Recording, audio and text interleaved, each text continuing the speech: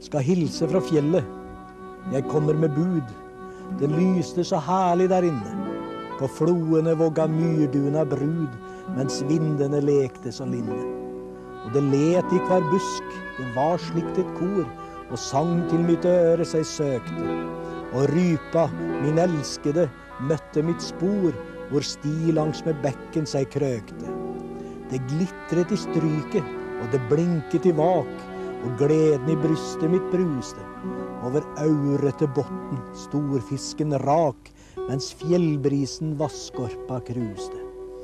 Værhardt sto fjellbjørka, vindvridd og låg, men nævra trivelig smilte. Og under dens lauvheng med glede jeg såg at villreinen stille seg hvilte. Skal hilse fra fjellet, det evige land, hvor moskus og jerven har bolig. Min lengsel dit inn er blitt som en brann, kun der får jeg fred og blir rolig.